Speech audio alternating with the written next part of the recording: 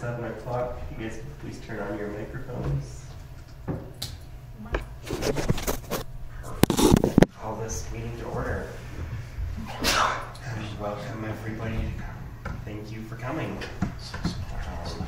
That will move us on to agenda item number two, which is consent approval of the planning commission minutes from August fourteenth, twenty twenty-four. Have any concerns about them? You'll get a chance to read them. I did read them. All right. You did, I'm sure you did.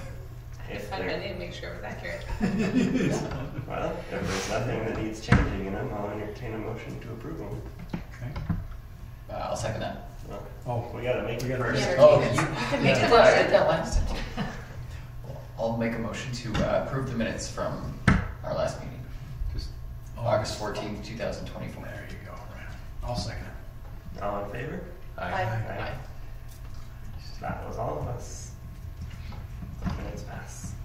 Moves us on to agenda item number three, which is discussion, action, recommend to grant proposed conditional use permit number one forty-four for holistic healing and wellness services and coaching as a home occupation located at six oh eight west, twenty-four twenty-five north with Valleen Day. So Jenny, do you want to introduce this? And then we'll have the applicant come up and take questions. Oh, I have to come. Oh, you don't have to, but it would be helpful. So this is a, an application for a home occupation, and the, there is a outline of the property. There was an outline of the property. Those Right. are the packet. Last page. There we go. Uh, of where the property is located, and the entrance to the home occupation, and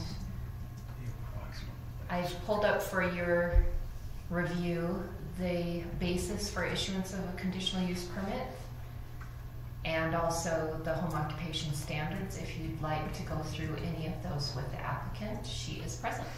Okay. Please come up and introduce yourself and tell us a little bit more about what you're doing. Sure. Um, I'm Valleen Day. I do holistic healing and wellness at my home. So um, I have clients that come and I do anything from foot zoning, face zoning, Reiki, or coaching. Um, just really depends on the client. I also do cranial sacral. Um, and sometimes like yoga, individual yoga, breathwork sessions.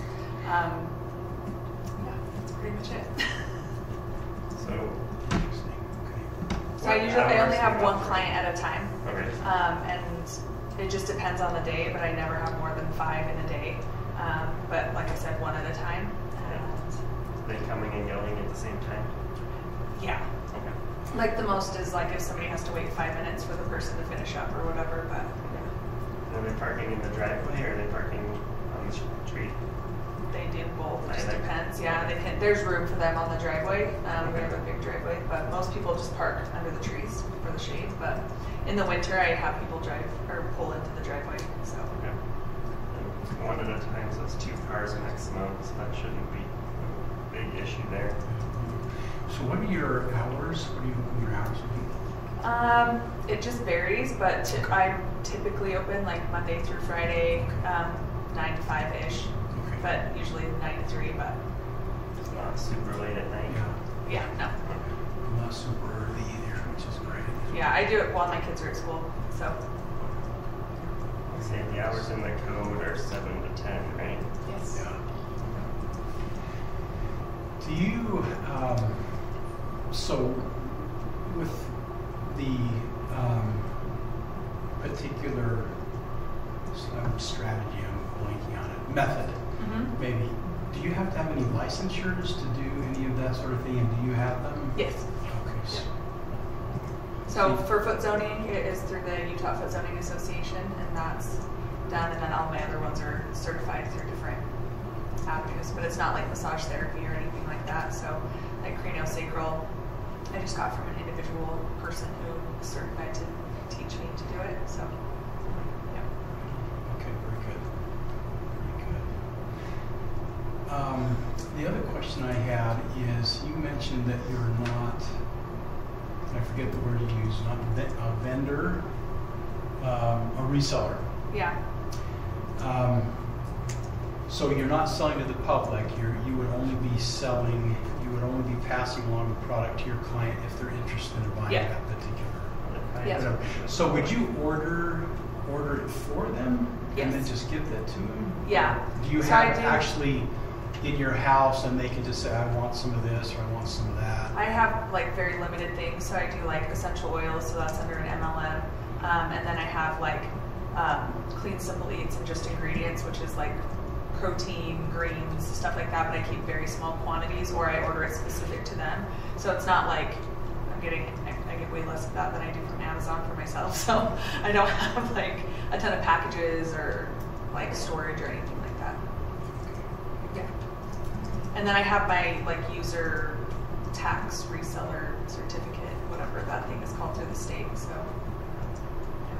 Nice. the very official name that I don't remember. Very good. We're glad you're in better health. You were sick last I was. month, correct? Right? So we're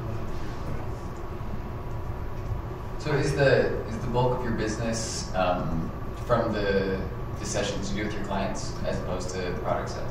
Oh yeah, yeah. Okay. That is just very like if they have something going on and I recommend something or they need something specific for their health, then I order it. The issue is um, G on the bullet points on the code. No wholesale or retail sales of products, uh, product display or warehousing of products directly from the home, except those that are uh, created on the property from a common trade or craft. So we're trying to see how prevalent that is and whether or not that's going to things. Yeah, I mean, I don't even mark it up or anything like that. They get the wholesale price that I pay, so I don't. It's I don't even consider it part of my business because I don't make money on it. Right? It's just something else you do while there. Okay. Yeah, that was my only concerns. Yeah. That's why I. Uh, So, what percentage of your house are you using for the business too? And see, Um, I'm not good with. it's got to be less than a quarter. Yeah, the it's house. small. It was the front room and we just framed it in. Just an um, office. So it's Yeah, it's just just one an room office rather space. Yeah, it's just one room. like 10 by 12 ish, Yes. something. Yeah, it's not an exact square, It's not, but yeah. not the whole house is the business or the whole No. first floor or something. No. Okay. I just want to make sure of that. Yep. So if that wasn't appearing here. Other than that, I don't have issues with the Yeah, parking. I don't have. I doubt we have issues with the hours, especially with one at a time. So it's not going to cause any headaches for the neighbors. None of this stuff is going to create any noise or odors or No. other obnoxious side effects. So, My neighbors only complain about dogs pooping in their yard, so. Very publicly, as Oh, we're yes. aware. Yes. That's also my neighborhood. Yes. well, there's no other concerns, or you guys have any other concerns, questions, anything else that would hold this up? Thank No. you for coming up. Yes. And helping us to understand it better. We appreciate it. Yep. We love entrepreneurs. Thanks. All right, we ready for a I motion? think we're ready for a motion. Okay, I motion that we um, approve the proposed conditional use permit number 144 for holistic healing and wellness services and coaching as a home occupation located at 608 West, 2425 North. Um, Yes, Subject to the code. yeah, subject, the Harrisville City Municipal Code. I second. All in favor? Aye. Any opposed? Passes. I just wasn't sure if that was all of us this time. Thanks, Wayne. Thank you. All right. And as a reminder, since it's on here, there's 15 days for anyone who objects to the conditional use to appeal it. And after those 15 days, so on September 26th, you can come in and sign everything and you'll have your conditional use permit. Okay. Just, I doubt anyone will. They don't often, but they have that in window. So that moves us on to agenda item number four, which is public comments. So if you want to come and give us three minutes of your opinion. Or two minutes, or one minute. I mean, Uh, If no one wants to participate in public comment, we'll move on to agenda item number five, which is commission and staff follow-up. Jenny, you got follow-up for us? I do. I have a little follow-up for you. As the commissioners, your four hours of training, annual training, there is an opportunity. uh, Our appeal authority, Craig Call, actually wrote a book called Ground Rules for Land Use, and last year they sent us the actual books. This year they have condensed it to a handbook, and this is a QR code where you can order it. I can either order enough for everyone if you'd like me to, or you can individually scan and have it sent to you. It's pretty, Yes, it's paid for out of the one percent surcharge on all of our building permits. That's what pays for the training through the Utah Land Use Institute. And this is also the website you can go to. They have training videos that you can take for your land use training.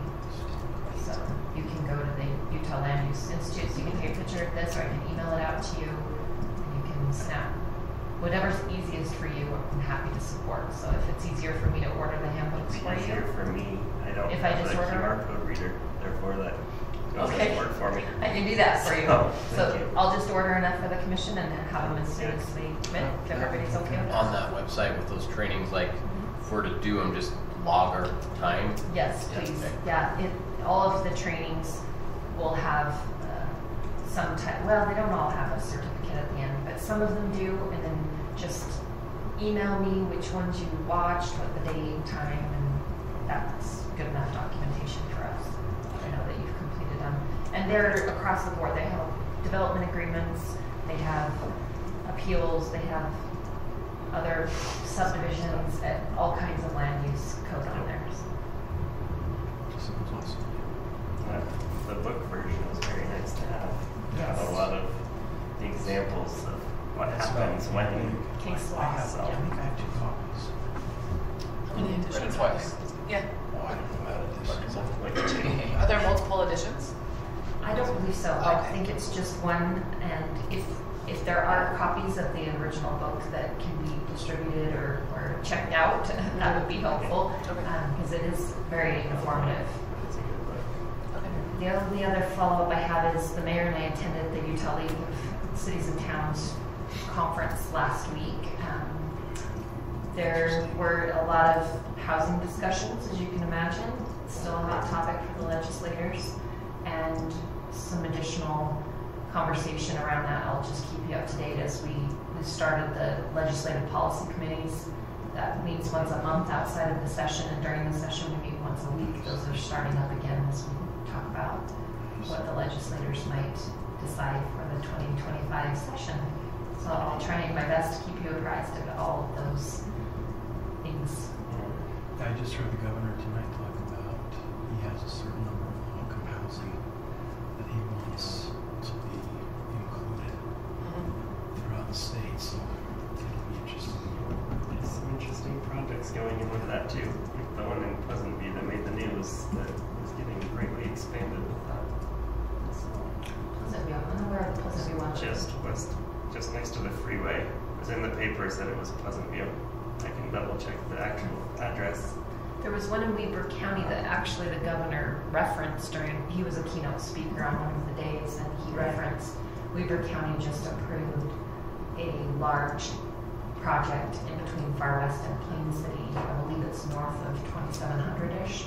and they are utilizing the um, deed restricted housing that the legislators in the project, and it will have a variety of homes. They won't all be the same size, but it will have a certain number of affordable houses included in that. And that's something that we have implemented in our proposed discussions with developers, is whether they have a affordable housing element trying to boost the ownership in, in the state. So that's all I have. All good for you guys? I did have one, I did have one question on the, um, the development that's going in there, right, on s- where eighty-nine meets seven fifty. The Cock- the Cockles. Cockwoods, thank you, that, I just, um, when we looked at the initial design, they were gonna have like a, a grassy area.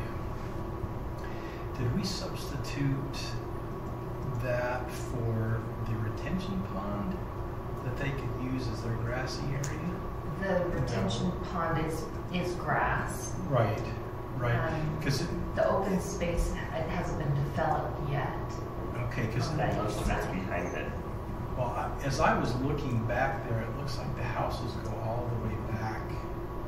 And I, I mean, I, I haven't walked back there, but I just thought, I don't know how they're gonna put any green space back there.